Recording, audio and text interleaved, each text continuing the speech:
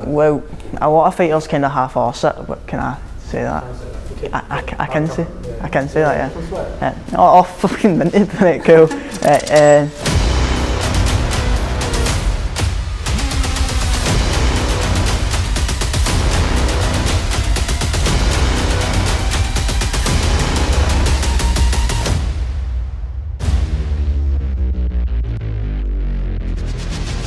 My name's Jamie McCaw, I base Muay Thai in Linwood. I'm 16 years old and I've had 13 fights and two adult fights. I started in 2018 when I was 11 on, uh, it was just when I was my first year going into high school. So started in August 2018. I remember my first session, just it was like a small gym where it was just me and my coach, just opened his gym there. So was all ripped up mats and everything walked in it was just him for me and him for weeks in the kids classes and just kind of basically just took us for one to ones the whole time and I just remember hitting the hitting the hitting the pads and that thinking oh this is minted man. Probably the biggest like change in like just the way I was thinking. After my last fight I thought I had my first A class fight and I got stopped in the second round I fought like a dead strong boy in that. I had a good first round but got caught with a good punch and couldn't recover from it. I just it just kind of switched in my mentality, needed to train a bit harder and I always trained hard but it just kind of made me realise what I really wanted to do because I was gutted after it man, what, it just, I was just gutted about it and it's completely switched my mindset a bit. There's been a few times like I go through go through stages, sometimes I think oh I'm here doing well and training's going well but then you have a bad session and I go home thinking oh I'm awful at this, I'm chucking this, I'm not doing it again. like, it goes up and down, it's just like a, it's a pure roller coaster man, like you think sometimes you think you're minted with it, and then sometimes you think you're doing awful. Oh, and I've definitely definitely went through a phase where I thought I kind of just hit a point where I wasn't going to get any better, and then I actually had that fight and I lost, and I feel like I've improved much, much, much more than that since that fight. I'm quite bad for overthinking. Like I'll even sitting before bed and that, staying up all night, sitting thinking about things. Like I just find that it's hard to deal with, but just kind of need to remember that it's not every session is going to be a bad session. It's always the next day after I'm training and that, like, you feel minted. Like, you, if you have a bad session, you feel awful until you train again and then you feel brilliant again after it. My best moment in Thai boxing so far was probably my first fight after lockdown. So I had I had two junior fights before lockdown and then COVID happened and I didn't fight for, I didn't really get to train much. But uh, my first fight I fought a boy called Garen, it was a really hard fight man. Like, it was just because he pure hurt us with kicks and that, and he was kneeing absolutely destroy me with knees, man, like really bad. So I felt pure. That was probably the best moment because I was quite badly hurt in that fight, and I managed to overcome it and come back to stop him in the fourth round. So I was quite proud of myself after that. I'm just grateful for everyone in the gym. Like they're really like my family as well. Like they're we're all dead, dead close in the gym. Like just grateful for having that kind of relationship and that kind of like I, I genuinely do think of them as my family. Like having that kind of relationship with them, just being able to talk to them about anything, it's just I'm really grateful for that. Just having, even though I don't do it all the time, if I, I know if I ever need anything, they're there. I'm scared every time before I fight. I sit and think, why am I doing this? I don't don't want to do this. Sit and thinking I ways like, how am I going to get of this? But then the second you walk out, you feel brilliant again after it. I feel scared all the time doing it. It's not if something's no something's not worth doing if you're not scared about it. Like if it's, if you don't care enough about it to not be scared, then it's not worth doing. Uh, a lot of fighters, especially in Scotland, they kind of half-arse it. Like they'll they'll say, "Oh, I want to fight," and then they'll they'll skip rounds of pads, rounds on pads. They'll skip days training. They'll go out and bevy on the weekends and stuff. I don't do any of that. I stay in every Saturday. Just wait to go to training in the morning. That's I think that's what makes me different than quite a lot of fighters, especially my age. Everyone's so caught up in then going out at the weekend like everyone still pure lives for the weekend, even if they're fighting and stuff, they still live for the weekend and go out every weekend. It just doesn't appeal to us. I don't think there's any worse way to live than just constantly waiting for Saturday to come about so you can go out and have a drink. I don't need anyone to keep me going when things get hard. I don't think you should rely on people, like, because relying on people, you're only going to end up getting.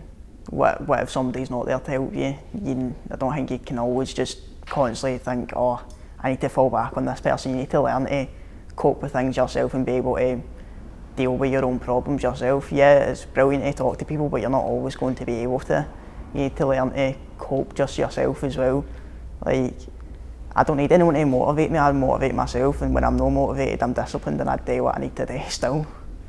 Back when I was 14 year old I was going through a really hard time, like again relying on people. Um, was quite struggling a lot mentally, I was feeling quite down and it just got to a point where like I was just turning into not a nice person. Like I wasn't doing well in school, I was struggling in school but I was really not doing well. I was skipping months at a time going into school, and I was I was missing well, I was missing training sometimes. wasn't really wanting to go. I was falling out with my family, I basically fell out with my whole family. Like wouldn't leave my room, didn't get along with them at all. Like I just wasn't a nice person to be around, and it was quite clear that I was struggling, but I didn't quite have like the maturity or strength to kind of go and talk to people about it because I, in my head, I was like, oh they all won't understand. They all just have a go at me because they're annoyed and I didn't really quite click, especially my mum that. I didn't click how much they actually loved us to be able to help us like that. So I didn't think to go to them.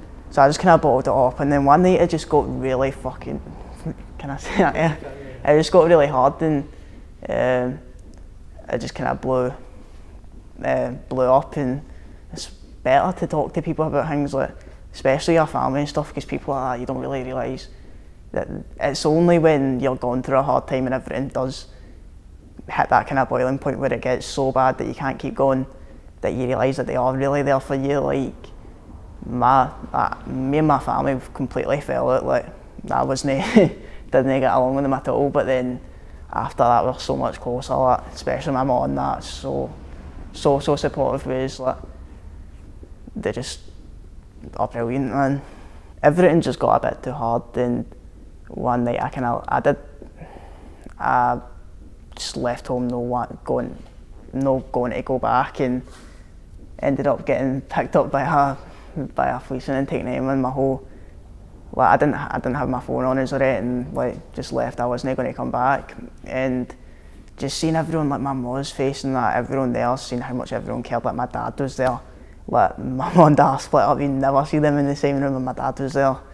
Like my whole family were there, it was late in the morning, it was like early in the morning as well. And just seeing everything what that put my family through and that, I just couldn't it and I was starting to realise I was like, I really need to, I really need to get my, my shit together and just because I've seen how much it hurt them, seeing how much I was hurting that I was going to do that to myself, like after that day, because it felt it went from like such a low to such a high. It felt like there was absolutely nothing. Like I just hit rock bottom, and then seeing how much my family supported us and that, just brought me straight back up again. I just started talking to my family, like talking to my mum about it, like just spending more time with them, spending more time talking to like my coach about it. He's brilliant with it as well. Like he's the one I go to, you know, see if I've got anything with the boys at the gym, I'll go talk to them and I just started training harder and more because it was kind of like a, I almost used it as a coping strategy. Um, I was just training all the time, like hours and hours in the gym that day.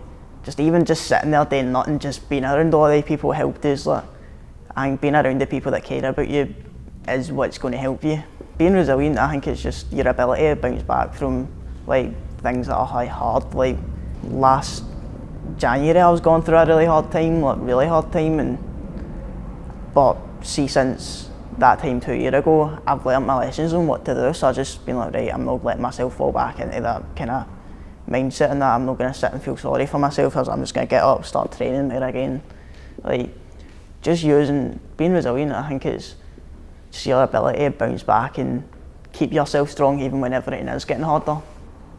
I'm quite quite a shy. I never used to be. I used to be when I was in school. I was a arsehole man. That's getting when I was in when I was in school, dead cocky and that. But then once I left school, I kind of quieted down and got. I'm really shy now. I hate meeting new people.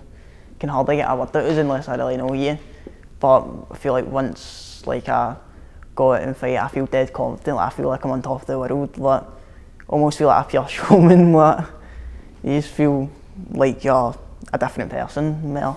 I just think I want it more than most. Like I'm willing to do the things that other people aren't. Like I'm willing to give everything up. I have cut off a lot of people. Like anybody, anyone who I don't have any friends from school still, but I've got one or two.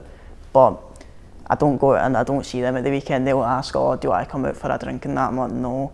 Like, I don't even, like, even if they're going out drinking, I don't even sit there and just not have a drink or because I don't want to put myself in that kind of situation. I don't feel like, I don't believe in putting myself in an environment that's no good for me. Like, I'd rather sit in my room myself watching Netflix. Everyone would say, oh, you're boring, you're boring, but it's not boring to me. It's, I'm so content with how my life is now. And I'm just willing to give up everything for what I want to achieve and what I want to do. I constantly doubt if everything I'm doing is worth it. Like, say you have a bad sparring session or something, you get leathered, you're sitting like, no, oh, I'm shite, man. Like, I'm not as good as I thought I was. Like, it just, sometimes even when it's getting a bit, you're just tired after training, like, and then you've got to do another session later on in the day, you're just like, what's the point, man? Like, or even when you're, you've not got, say you've not got much sleep and you're training early in the morning, you're like, oh, why did I pick today this? But when it's cold and, like, when it's winter and it's cold and dark in the morning, it's harder to get out of bed, but you still need to do it. It is worth it in the end. How do you know the hard work is worth it? Just because how it, firstly how it makes me feel. Like, I think if something makes you happy, it's going to be worth it no matter how hard it is. If you enjoy what you're doing, it's worth it. Even if you're not winning fights, if you enjoy it, it's worth it, I think. But I think, not that I think losing's not bad, it's awful.